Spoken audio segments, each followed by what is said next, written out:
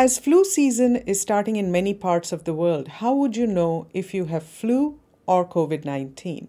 Hello and welcome to Science in 5. I'm Vismita Gupta Smith. We are talking to Dr. Sylvie Briand about flu and COVID 19 today. Welcome, Sylvie. Sylvie, let's start with how would people know if they have caught the flu or COVID 19? So, the flu is uh, very common, especially in this season. And usually the symptoms are fever, um, headache, muscle ache, uh, but also upper respiratory symptoms such as uh, sneezing and, and coughing.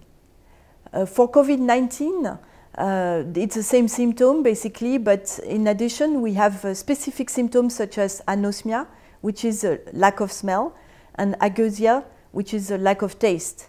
And uh, many people, especially young people, have experienced this uh, additional and specific symptom for COVID 19. But sometimes uh, people have very few symptoms, whether it's for flu or for COVID 19. It really depends on your level of immunity.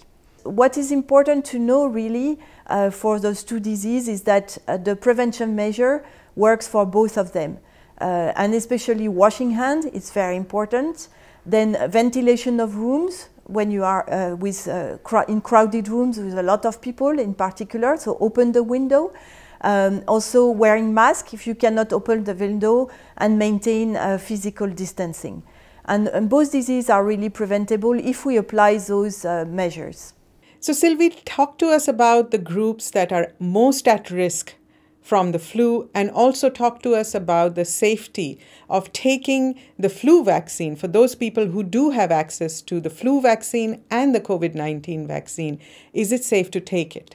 So, the group most at risk for uh, influenza are um, elderly, uh, people with underlying conditions such as uh, uh chronic respiratory disease, cancer, uh, cardiovascular disease. Um, and these are a similar group as for COVID-19. But for flu, in addition, uh, pregnant women and uh, very young children, infants, are also more at risk for severe disease. So is it safe to administer a flu vaccine and COVID-19 at the same time? Yes.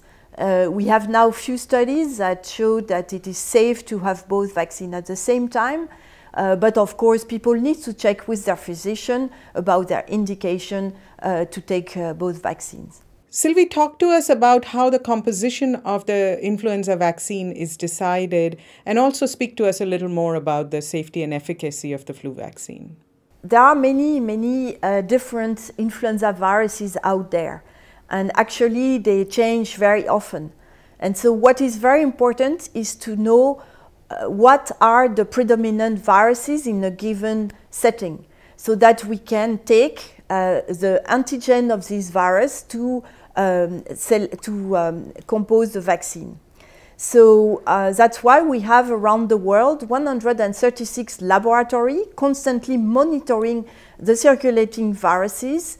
And twice a year, we have expert meeting to define uh, what are the predominant viruses in certain places of the world.